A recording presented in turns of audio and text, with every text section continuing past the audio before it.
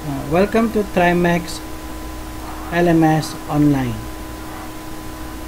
Okay, ang ating uh, topic ngayon ay kung paano gamitin yung ating LMS. So, kung tayo po uh, bilang estudyante ay wala pang account sa LMS, so ang gagawin nyo lang po ay click lang yung online ay yung ating uh, sign up. Okay? Upon clicking sign up, So, pupunta po yan sa registration page. So, sa registration page, ay pilapan po natin yung mga fields na nandito. Okay? Natural, click natin yung student kung tayo po ay estudyante.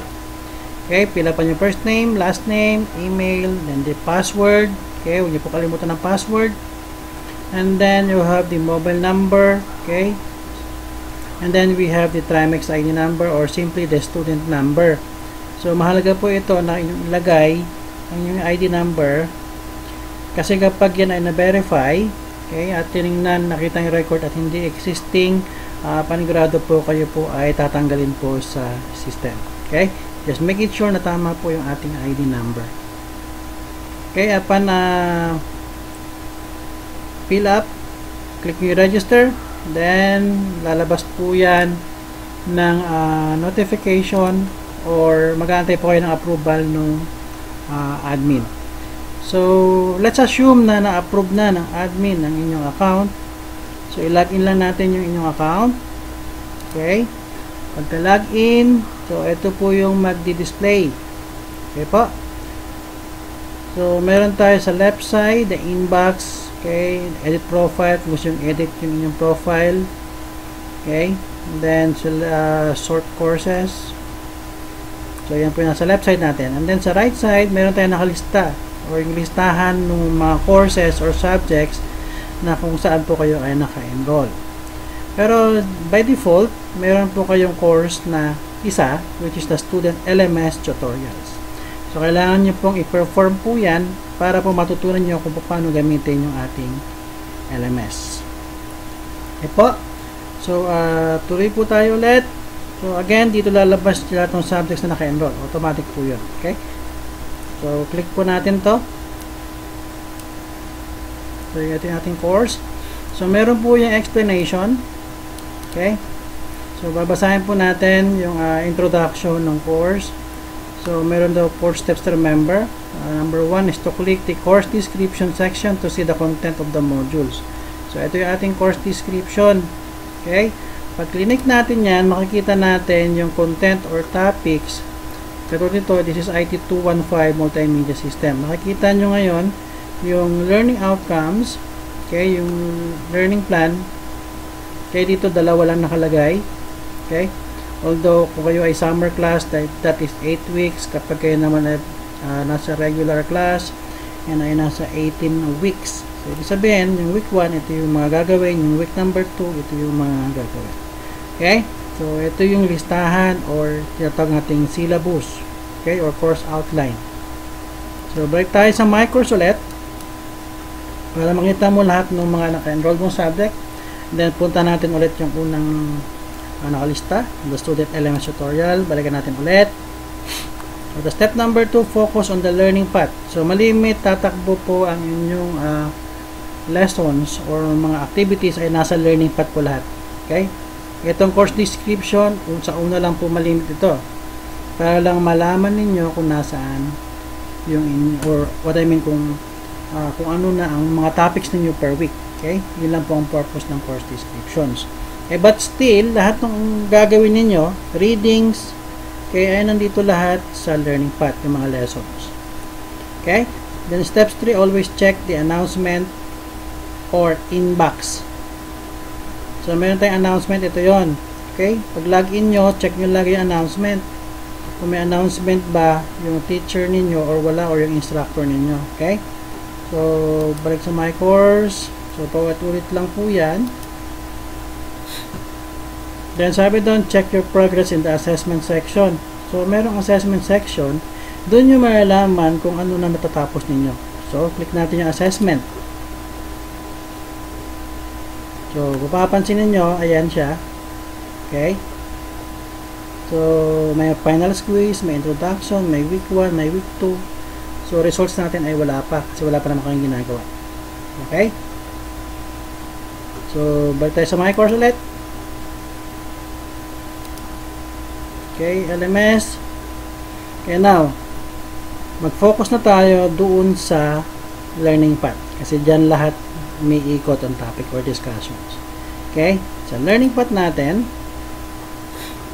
so makikita lang natin ay introduction. So, although we have hanggang week number 2. So, hindi kayo makakapag-proceed sa week 1, week 2 kapag hindi nyo natatapos yung first part. So, ito yung ating first part. Click lang natin yung first part which is the introduction. Okay? So, mapapansin nyo, lahat po ito ay may kinalaman. So, ito yung pagkakasunod nung topic. So, ito yung lesson. So, uh, explore learning path. So, ito yung content. Okay? Yan siya. So, babasahin nyo lang yan. And then, introduction, PDF.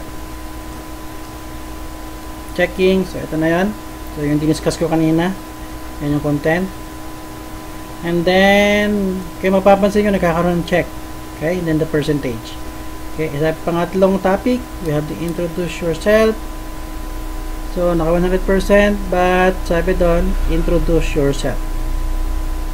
Okay, now, uh, sabi doon, activity, introduce yourself using Microsoft Word and upload your file here.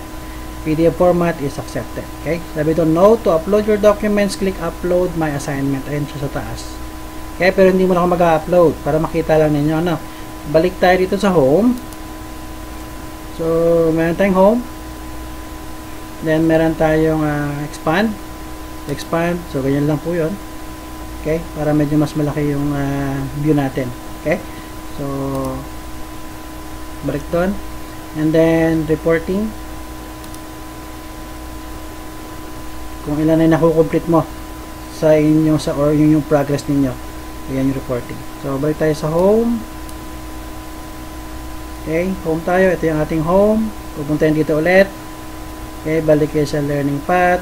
Okay, so learning path lang malimit. Napansin nyo, meron na kayong week number 1. Okay, so pag clinic nyo yan, uh, po pwede nyo nang gawin yung itong part na to. Okay, so try natin yung quiz number 1 kung pwede. So, hindi nyo kayo i-allow na mag-quiz. Kasi hindi nyo pa natatapos yung assignment number 1. Okay? So, ayan siya. So, assignment number 1, okay? And just make it sure na meron naka-upload. Kasi pag clinic nyo yung quiz number 1, so, uh, wala rin. Okay? Kasi nga, wala kayong nilagay na assignment. Okay? So, click natin assignment number 1. Try natin mag-upload. So, ang, ang question ay how ma how multimedia affects the business world. Okay? Mag-assume tayo kunwari meron ka ng sinagutan. So, uh, yung sagot mo ay ilalagay natin sa text dito. Dito tayo mag-upload.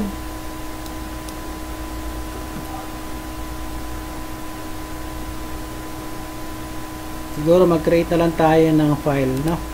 So, limbawa, uh, bukas tayo ng notepad. ko ang sagot ko. Okay, for example, yan lang. Save ko to. Okay. Save natin dito na lang siguro Zoom, LMS. For example, uh, sagot ko.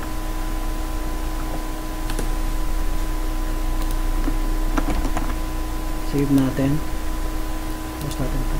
So, upload natin yung file. Hanapin nyo yung folder or yung file ayun, sagot ko. Okay, may naka-upload na. So click natin yung quiz. So pwede na tayo mag-quiz. Okay? So start natin ng quiz and then question number one, do you love me? Okay, yes. Okay, next. So, uh, bawa ito. And test. So, matatapos na yung inyong quiz. So, just make it sure yung chat area nalagay dito. Click natin to. Kaya sabi din, open the chat section and introduce yourself. Okay? So, uh, saan, saan pupuntahan? Chat section daw. Okay, yun yung activity. Kasi meron panigurado, merong discussion yung instructor. Okay? Unless otherwise, itong instruction niya, sinabi niya limbawa, meron tayong chat ng ganitong petsa. So, kailangan yung mag-online. Okay? Whatever yung time na yun. Or, uh, kung sinabi niya ngayon na meron kayong chat, so, ng mga 10 o'clock, or 11 o'clock, or anything, whatever the instruction, ay saka nyo bubuksan yung chat. Okay? So, sabi doon, buksan daw yung chat. Tayo sa home. And then, punta tayo dun sa chat. Ito yung ating chat. Tapos sabi doon, introduce yourself. Hello. Okay, I am John. Okay, send natin to. Then, close. Nakapag-send na tayo ng content. Okay? So, balik tayo sa learning path. So, enable na yung week number 2 kasi natapos na natin yung week number 1. Okay? Pero just in case na meron kayo nakalimutan, pwede nyo balikan yung mga lessons. Okay? Pwede nyo basahin ulit. So, hindi naman, mawawa, hindi naman siya mawawala. Okay? Sabi ito, introduce yourself. So, ito yung nakalimutan kanina. Kaya hindi ka nakapag-upload. Since na ito ay last topic na, so hindi ni-require uh, ng ating uh, instructor na kailangan ay may ma-upload o wala. Wala naman sinabi. So, mag-upload na lang muna tayo. So, so, same, same na rin siguro yung ilalagay, ilalagay natin. So, so, yung bawal lang. Although Microsoft Word yung sinabi. Then home ulit.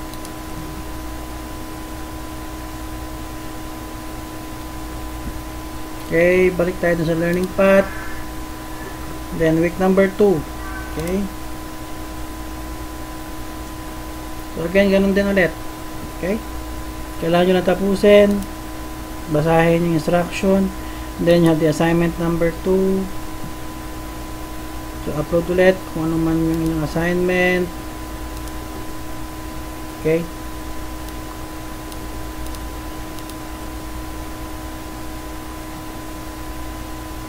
So, test section. Exam na. Uh, go to the test section and do the final quiz. Okay? So, sabi doon, do the final quiz. Click tayo sa home. Then, go to the test section. Test section. Ito yung test. Okay? Then, final quiz daw ay gawin. Then, start natin yung test. How many uh, links do we have in the link section? So, uh, ilan nga ba? Let's say, for example, tatlo. Next natin. Okay? So, how many weeks in the learning path? For example, 3 din. Tapos, next natin. Uh, tools for class discussion. Uh, chat. Okay, next question. Number for online resources, for example, uh, links. Okay, next. What do you see in the document section? Uh, for example, documents or list of documents and test. So, ito ay unlimited na test. Okay, depende yan sa instructor kung ano yung uh, kanya, ano yung nakaset sa kanya. Okay? So, pwede ka mag-another attempt ulit. Okay? Kung naka-enable. Okay? May mga quizzes na po pwedeng enable. May mga quiz naman na one take lang. Okay? Return to course homepage. then, learning path ulit. So, nakaka 75% na. So, punta na natin to ulit. Ngayon, prelim examination. Okay? start natin yung prelim. Uh, okay. Progress module? So for example uh, rating assessment kunwari. And then uh, what is Trimax LMS okay example lagyan natin yan learning okay next questions For example, tools or tests of course. Bawal lang. test. So, ayan. ah, tapos na siya. Okay. Punta tayo dun sa home. Let us check kung okay na siya. So, 100% na siya. Okay? Okay? So, lahat po yan ay intended per week. Okay? So, tingnan natin yung assessment. Assessment. So, uh, okay. Nabuo na lahat. Total of 100% lahat. Okay? Yung final quiz, introduction ng week 1 and then yung week number 2. Okay? So, kompleto na siya.